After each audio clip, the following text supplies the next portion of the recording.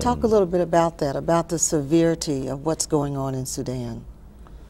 You know what's going on in Sudan was a fight before between uh, Christian and, uh, and a Muslim, but not all the Muslims are very bad. There are some like the government are using Islamic as a power, and uh, our people didn't like what, the way we, we, were treated by them, uh, so they picked up a gun. They've been fighting for like 20, in 19 to 1983 uh, to year 2000, and then agreement was signed. You know uh, doing bill, I mean doing uh, Bush administration when they came in, they, you know, peace agreement was signed between the North and South. But now the situation in Darfur is really, really so bad. And now, you know, there are not too many Darfurians here mm -hmm. in this country. And the reason why these people have been killed in Darfur because they're black African. And those people call themselves Arab, they're going to, after black African, you know. But the Darfurian, 99% uh, they are Muslim you know, they were uh, educated by those people and they were taught by those people to become a Muslim, but uh, they still black African. So the war stopped now in South Sudan. Then they turn around, you know, in fighting people Darfur. And I feel that uh, I should be speaking about decade people. And I think that now American people know about Darfur more than, you know, they know about Sudan more now than before. And people are talking, but no action being taken because Sudan is, very, is a great country. It's a nice country, you know, large, large land in Africa, you know. Uh, but the war since 1956, uh, the war been going on like that, you know. A lot of people die in the south. And I don't want what happened to Darfur. I mean, to us in Southern Sudan happened to Darfur, but it still is happening now, you know. They lost almost 400,000. Yeah, so, so what, I go out and speak about it. Uh, what needs to happen to to really bring about change? Uh, what happened is we, the international community plus America, and they got to put a pressure on Sudan government to bring peace in Darfur, and the people can uh, live free. You know, Sudan is better, is a great country, it's a nice country, mm -hmm. but the the people on the power in the north, you know, the government in Sudan uh, is really really so bad you know, you can talk, you can send food there, but no protection, you know, nobody does protecting those people, you know. You take the food there, and then medicine, and then people come out from bush. Mm -hmm. They try to come and get uh, food, and then they get bombed in the air. Uh, are going in, in the ground, and these people have been owned by Sudan government. Mm -hmm. So uh, we're still talking, you know. I hope one day God change the thing, you know, to bring peace in Darfur. Want to go back to your accident for a little bit. You um, have experienced some really difficult times because of bills resulting, I would imagine, from that accident. Can you talk a bit more about that and how you're managing to, to make it? Yeah, I mean, a lot of people didn't think that I was going to make it. Uh, isn't myself too, but uh, first of all, I I was complaining to the God. I said, God, why me? Because I think that I, have a lot of people. You know, I've been doing a lot of things for good thing for people. Why me? And then uh, still feeling better a little bit. So I say, you know what? The taxi driver, he died right away. I was rejected in the highway. I got no broken bone on my leg. It's only my hands, and I'm alive. I should not complain to God because I should say, God, thank you for saving me, you know. Uh, but there's a lot of pain, you know. I live with pain every day. Uh, you know, I got to take some medicine for the pain uh, with a score like this is very bad. But you know, I cannot complain because uh, uh, God is great. I'm walking here. I'm traveling. You know, try to to educate people. You know, to speak out and let people know what is going on.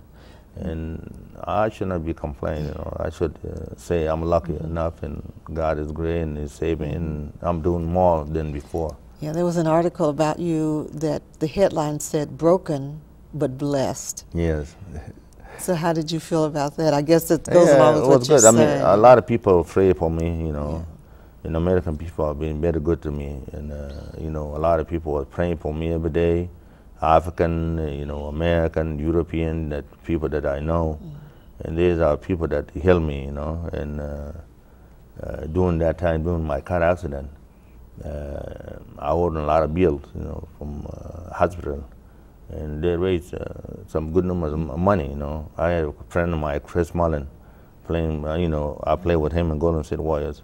he did raise almost eighty thousand. Uh, he raised eighty thousand dollars for my medical bill, and I had some friends that around there. You know, they helped me a lot. So you know, uh, people have been very nice to me, and uh, and that's why I feel very good. I say, you know, now I know what I did Yeah. good, and See, it's I'm the law with of it. Yeah, reciprocity, exactly, you know, exactly. it's coming back to you. Exactly. What other projects uh, are you involved with? What other causes? I am doing. Uh, we, my cousin, and myself, we organize a Ring True Foundation. Uh, we tried to build some uh, school there, uh, some clinic, but it's been very hard, you know, uh, to raise money. Since I got a car accident, I didn't, do, I didn't do a lot, but I'm start doing it now. You know, I'm talking to NB, I'm talking to a lot of people that uh, I need to, you know, since war uh, started in 1983, we never have a kids. Nobody went to school. No school was. No health care. So now the peace agreement being signed. I don't know if it's going to hold up or not, but there's time for us that I feel that I should help my people out to get, try to get them education because I know that education is very important. Like in the United States, the reason why America is very good because everybody is educated. You know, they go to school, they work, and you know they work together. Uh, so we want to, you know, build some school and some uh, clinic, you know, to, to help our people out.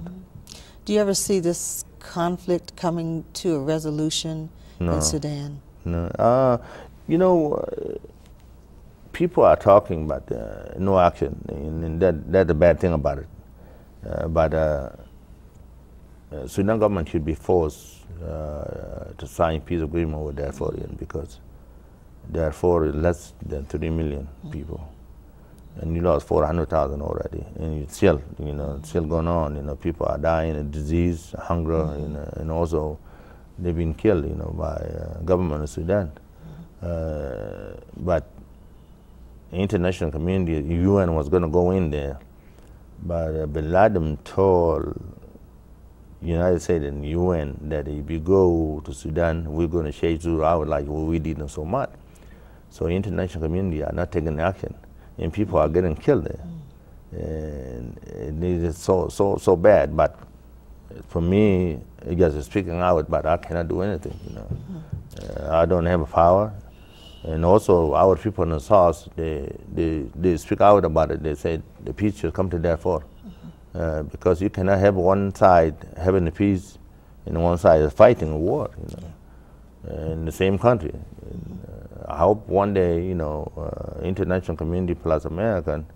I mean, I want UN to go in there like what, what they did to Bosnia, you know, save heaven.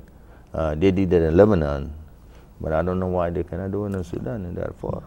And I want to see that uh, someday maybe, you know, God might wake up somebody and say, you got to do something to save these people. Your your dad is about five what? Uh, no, you see what they put uh, there. It's not uh, the truth, but I don't want to say that it's not white, But it's not white.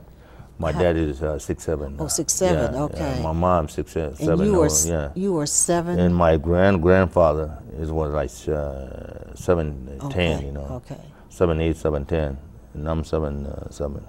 So what about your family? Um, your your wife, your children? Uh, my ex-wife, uh, she's five, uh, 7 Mm-hmm. But I have a son like uh, he's gonna be 18, he's 17 years old. He's about six eight, six seven. At 17 years old. Yeah, and uh, I have, uh, you know, Does he play basketball? or- Yeah, he's playing basketball. He's playing high school back in uh, New Jersey. I would I would love to watch his career And and, I see got how he a, progresses. got a little one, seven years old. Is going to be tall. and, uh, yeah, and then you have a 10 month. yeah. Yeah. I have 10 months. Yeah. Bless you. Keeps you busy.